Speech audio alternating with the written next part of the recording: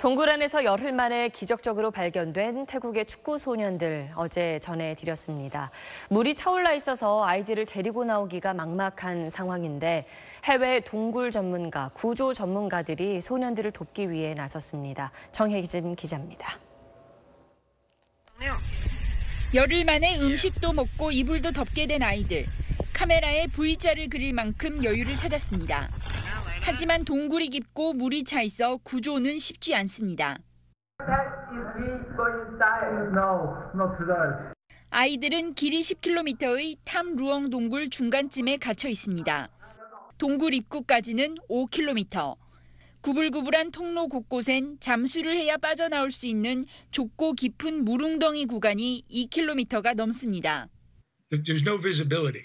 So the divers needed to run lines in order to be able to get in and get out. 아이들에게 단기간에 잠수를 가르쳐야 하는데 전문가도 빠져나오기 어려울 정도로 경로가 위험합니다. 때문에 넉 달 동안 식량을 공급할 계획까지 세워놓았습니다. 그렇다고 마냥 기다릴 수만도 없습니다.